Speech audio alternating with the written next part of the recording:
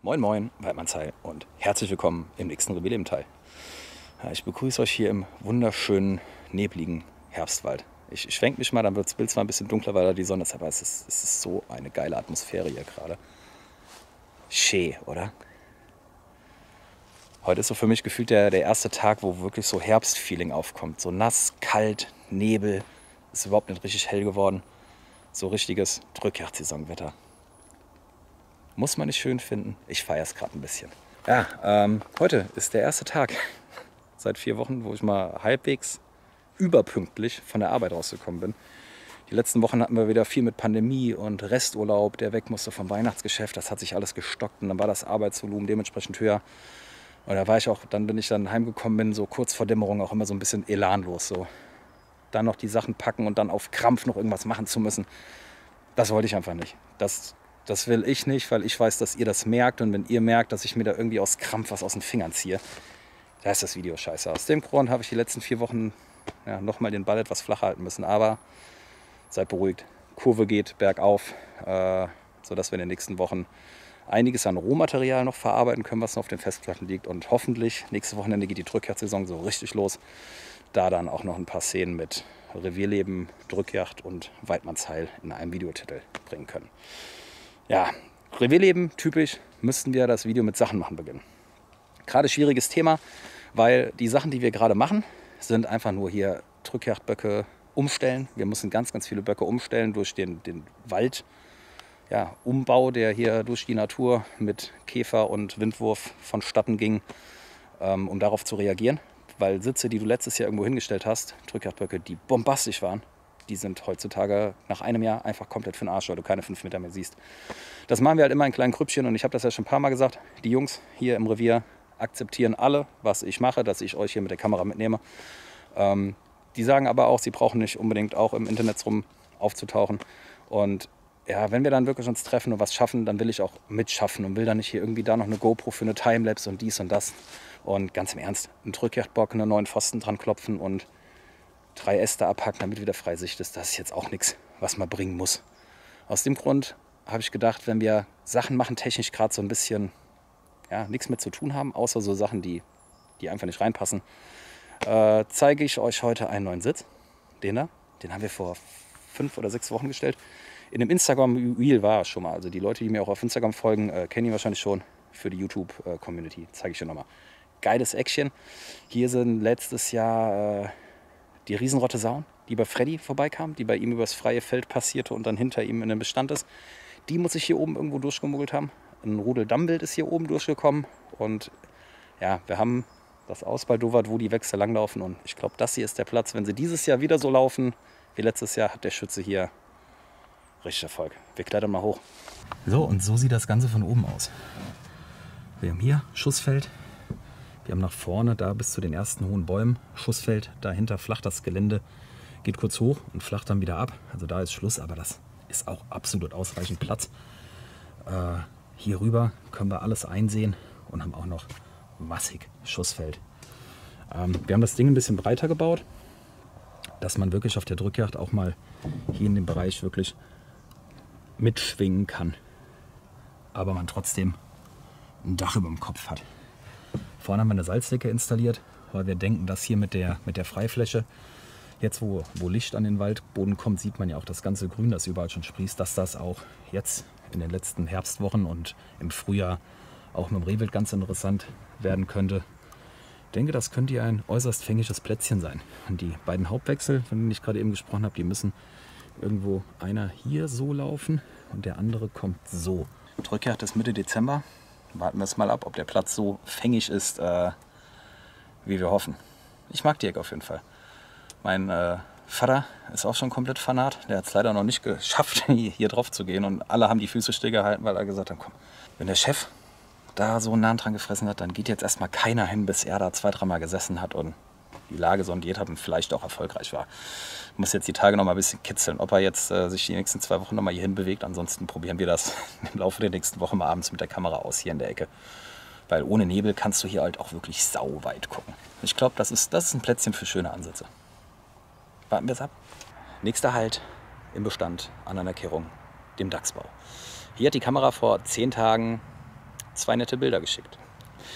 Ähm, Dammwild ist hier Wechselwild. Wir sind hier auch dammwildfreies Gebiet. Ähm, bis vor vier, fünf Jahren hatten wir es auch relativ regelmäßig da. Und jetzt hier die Aufnahmen, die jetzt kamen, waren, glaube ich, die ersten im letzten halben Jahr. Also es ist wirklich weniger geworden. Und umso mehr freut es mich dann, wenn sich einer von den, von den Kerlchen mal hierhin verirrt. Weil ich, ich mag Dammwild einfach. Ich finde Dammwild einfach, einfach schön. Und ja, der Hirsch ist auch abnorm. Hat auf der einen Seite nur so ein, so ein spießähnliches Gebilde. Zwar auf, auf dem äh, ersten Bild hat man es überhaupt nicht wahrgenommen, auf dem zweiten Bild hat man es richtig gesehen. Ich hoffe jetzt, weil wir zwei Bilder haben, das heißt, wir haben sechs Bilder und zwei Videoclips, dass man es da besser drauf erkennt. Äh, und die wollte ich einfach gucken. Ich war letzte Woche zwar auch zweimal abends hier oben, bin gerade noch mit Nemo eine Runde um die Jagdhütte gedüst. Nur hier ist überall außenrum jetzt Bestand. Da will ich halt, äh, Einstand, da will ich abends, äh, wenn ich zu meiner Hunderunde hier nach Feierabend hochfahre, dann eine Viertelstunde vor Ende vom Licht, einfach nicht mehr hier, hier drin rumspringen. Deshalb war das heute oberste To-Do, die Dummwild-Videos von der Kamera runterholen. Ja, und ich gehe einfach mal davon aus, dass die wie immer bei den Seka-Camps ganz anschaulich sind von der Qualität her und die seht ihr jetzt. Mal gucken, was ihr zu dem abnormen Hirschlein sagt.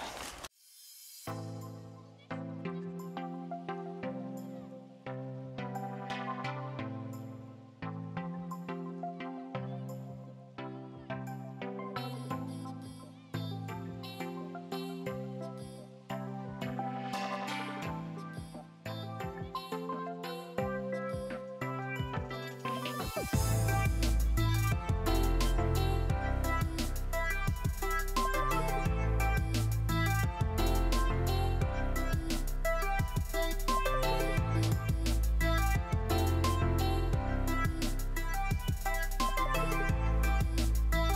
das waren die Aufnahmen vom abnormen Dammhirsch. Äh, ich gehe einfach mal davon aus, dass sie zumindest die zweite Serie gut geworden sind, wo er da mit stolz geschwellter Brust genau vor der Kamera im, im Blitzlichtschein steht. Und ja, wie gesagt, ich habe sie selbst noch nicht gesehen. Sie sind jetzt auf der SD-Karte in der Hosentasche, aber das, das Bild, das zweite, was geschickt wurde, das macht mir Hoffnung, dass man ihn in seiner vollen Pracht und mit Abnormität gut erkennen konnte. Jetzt Jetzt fahren wir noch schnell ähm, ins Einhorntal. Da brauchen wir neue Salzigsteine und ich habe da eine Idee. Wir sind im Einhorntal. In dem Einhorntal, in dem es keine Einhörner gibt. Es gibt hier aber was anderes. Ähm, Thema Loderplatz hatten wir ja schon mal angegangen. War aber nichts. Ging ja voll in die Box. Ich habe die, die Stelle war meines Erachtens perfekt. Ich habe es ordentlich, ausreichend, regelmäßig beködert. Waren zwei Füchse da. Ähm, der Nachbarjagdaufseher wird mir jetzt widersprechen. Der ist äh, sehr raubwildaffin und der macht auch ordentlich Strecke. Aber was ich so ähm, abends nach dem Rehwild ansitze, wenn du nochmal mit, mit Wärmebild einmal drüber glast hier über so riesen Feldflächen siehst, sind einfach weniger Füchse da als früher. Wir haben ganz viel mit Reude zu tun, hatten richtig krasse Ausbrüche, wo du stellenweise überhaupt keinen Fuchs mehr gesehen hast. Im dann, letztes Jahr ging es dann wieder, Ende letzten Jahres. Im Frühjahr hatten wir dann wieder die ersten Füchse auf der Kamera, die die eine komplett äh, blanke Lunte hatten und äh, richtige Fehlstellen am ganzen Körper. Das ist relativ dünn. Ich habe aber hier in dieser Hecke mal geschaut. Da ist eine riesengroße Dachsburg. Und das sieht so aus, als wäre da wieder Betrieb. Draufgekommen bin ich, weil ich hier abends mal mit dem Auto lang gefahren bin und habe äh, einen Fuchs hier direkt neben der Straße sitzen sehen. Und mal morgens, äh, als ich Spätschicht hatte, mit, mit dem Hund eine Runde gedreht hier oben, habe ich gesehen, dass hier aus dieser Hecke so richtige Rutschen durchs nasse Gras äh, waren. Das waren auch keine Sauen. Da hätte man hier in dem nassen Boden irgendwo sicherlich mal ein Trittziegel gesehen und es wäre irgendwo Schaden, wenn die hier wirklich liegen würden. Ich gehe fest davon aus, dass Dachs und Fuchs hier wieder zu Hause sind und jetzt kommt der Knaller. Da drüben ist ein Garten, so ein Gartengrundstück, da hat ein äh, Mann Holz gelagert. Und der hat mir im Frühjahr gesagt, er hätte einen Waschbären, der würde ihm immer die Meisenknödel klauen. Ich habe diesen Waschbären mit drei Kameras, die hier in dem Areal hängen, nicht auf die Kamera gekriegt. Und äh, ja, vor drei Wochen habe ich ihn gesehen. Da habe ich wirklich einen Waschbären gesehen. Zum ersten Mal, dass ich außerhalb eines Wildparks einen Waschbären sehe.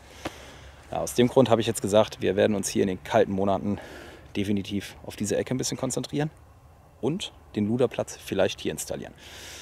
Folgende Ecke habe ich mir ausgeguckt. Wir haben da den Einhornsitz und wir haben hier einen Bachlauf. Da ist die Hecke, wo wie gesagt diese Dachsbau und die Fuchsbau, äh, die Dachsburg und die Fuchsbauten drin sind. Äh, bei Mondschein werfen die Bäume hier, auch wenn die kein Laub haben, recht viel Schatten. Aus dem Grund habe ich gedacht, wir gehen irgendwo da vorne hin, in gerader Linie vom Sitz.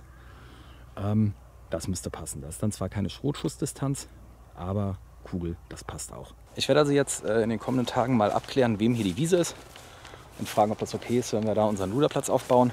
Und dann gehen wir das Thema Luderplatz nochmal an. So als kleiner Spoiler für die kommenden Revierlebenteile. So, und ich werde jetzt gerade noch zwei Salzsäcksteine rausbringen. Jetzt brauche ich aber nicht zu zeigen, wie ich so einen Salzsäckstein auf so eine Salzsäcke packe. Aber ihr seht es ja in meinem Handschuh schon, habe wieder was gelernt. Ich war vielleicht, als ich Salzsäcksteine geholt habe vor drei Monaten, ein bisschen faul. Und habe gedacht, wenn du die unter das Carport legst, wo sie trocken liegen, das reicht. Du musst die jetzt nicht einmal um die ganze Jagdhütte hinten, wo wir den Mais auch stehen haben, in das Fass mit dem Deckel, wo überhaupt nichts dran kommt, packen. Dann musst du sie, wenn du sie brauchst, hier wieder nach vorne und unterm Carport reicht. Das war der Gedankengang. Die Realität zeigt allerdings, dass es eine dumme Idee war. Und ich in Zukunft dann doch Salzecksteine mit der Schubkarre in den vorgesehenen Platz im luftdicht verschlossenen Fass packe. Und für euch habe ich jetzt noch einen Clip von vor zwei Wochen vom Ansitz, wo es endlich mal wieder mit einem Stück Rehwild gepasst hat. Viel Spaß dabei. Ja, heute Abend ging es mal wieder raus zum Rehwildansatz. In einer verdammt langen Woche, letzte Woche, war heute Abend endlich mal wieder Zeit. Bin hier an die, an die große Windwurffläche gefahren und beim Angehen ist direkt rechts vom Sitz auch schon Rehwild abgesprungen. Da hatte ich aber noch überhaupt keine Kamera oben. Ähm, war ein einzelnes Stück, ich glaube es war ein Bock, aber genau kann ich es einfach nicht sagen. Ja, dann stand links auf der Fläche schon Rehwild, da hat man deutlich den Spiegel in diesem grün-braunen Brombeermeer schon gesehen. Das war ein weibliches. Und ganz hinten, quasi am, am entgegengesetzten Ende der Mikrofläche, da standen fünf Stück. Ja, die haben dann immer wieder die Tauchstation Robben eingenommen.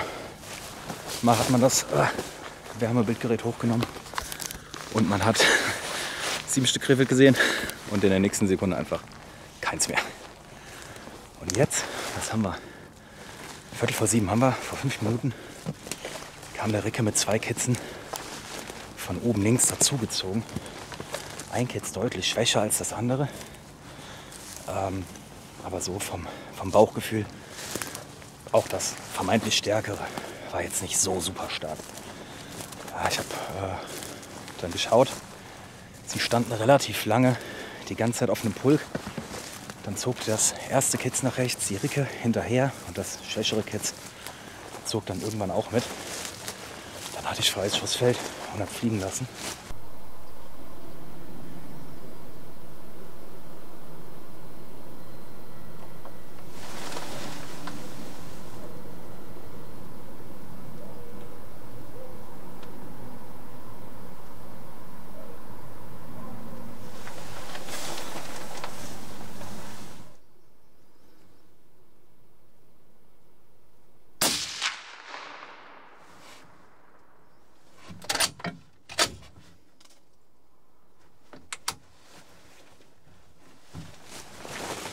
Gut gezeichnet. Ja, jetzt ist immer nur in der Windwurf-Scheiße hier die Sache mit den Bergen. Ne? Gott sei Dank stehen hier ein hoher Baumstumpf, der ist fast weiß. Und daneben ein Baumstumpf, ein kniehoher. Und da habe ich hingeschossen. Also den Anschluss finden wir locker.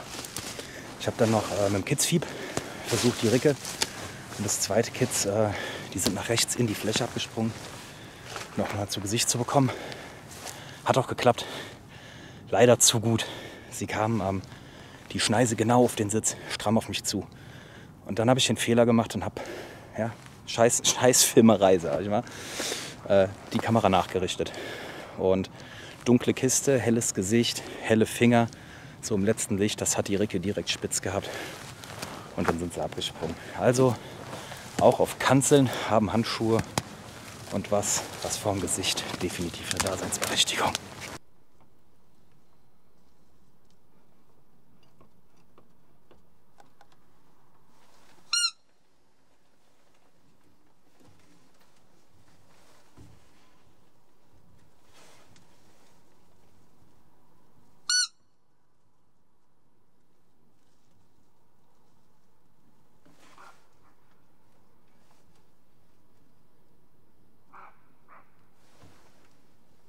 Mittlerweile ist es so dunkel geworden, dass die Taschenlampe raus muss. Wir haben aber hellen roten Schweiß. Das ganze blasig. In die Richtung ist es weg. Und denke, 15 Meter werden wir es haben. Hier geht es dann weiter. Ich habe leider nur die große Taschenlampe dabei, Leute. Deshalb überblendet das Ganze so. Aber da liegt Waren jetzt 15 Meter Totflucht. Und hier haben wir es. Rappelig Dürr. So, 20 Minuten habe ich jetzt gebraucht, mit, mit dem schwachen Kitz aus diesem Windwurf da wieder rauszukommen. Ich habe irgendwo den Abgang verloren, wo es wieder Richtung Sitz ging, den Trampelpfad, den ich da gelaufen bin. Ja, dann äh, muss ich ein bisschen querfeld eingehen. Ich merke es auch so. Ohne PSS nach so Hosen durch die Brombeerfelder, das ist nicht so geil. Ja, jetzt beginnt Logistik. Ich habe jetzt große Kamera und Rucksack aufgenommen, zum Auto gebracht. Jetzt fahre ich meine Freundin einsammeln. Die habe ich nämlich eben äh, an ihrem Sitz rausgeschmissen. Die sitzt seit 20 Minuten jetzt im Dunkeln ohne Büchse, also nach Büchsenlicht und wartet, dass ich sie abhole. Sie hat aber schon geschrieben, sie ist mir entgegengekommen. Also wenn ich jetzt noch drei Minuten quatsche, ist sie vielleicht schon an der Jagdhütte und ist sie zwei Kilometer gelaufen. Äh, dann zur Jagdhütte Heckpack holen, weil das habe ich eben natürlich nicht dran gemacht. Weil bei meinem Glück dieses Jahr ähm, habe ich gedacht, ja, passiert eh nichts, brauchst kein Heckpack. Dann Kids einsammeln, dann aufbrechen und dann, ja, sind wir fertig für heute. Wird auch Premiere. Gestern ist endlich das neue Kühlhausaggregat installiert worden. Nach zehn Wochen, zwölf Wochen Wartezeit jetzt. Die haben die ganze Zeit auf ein einziges Ersatzteil gewartet und das kam dann finally ähm, letzte Woche Donnerstag und gestern war es dann soweit. Das wird sie dann funktionierendes Kühlhaus haben und nicht immer zwei Orte weiter zur Yacht auf Sealita äh, da in die Kühlung müssen. So, genug geschnackt. Auf geht's. Und damit wären wir auch schon wieder am Ende angekommen. Ich denke, wir sind heute ein bisschen kürzer als sonst immer die 20 Minuten Revierleben, die wir angepeilt haben. Ist aber nicht schlimm. Wenn es so ist, ich muss es gleich alles zusammensetzen, zusammenbasteln, dann machen wir beim nächsten Mal einfach ein bisschen länger. Ja, mir bleibt dann wie immer nur noch zu sagen, denkt dran, wem es gefallen hat, ein Däumchen ist ein Träumchen und wir sehen uns im nächsten Video. Horrido und Weidmanns Heiden.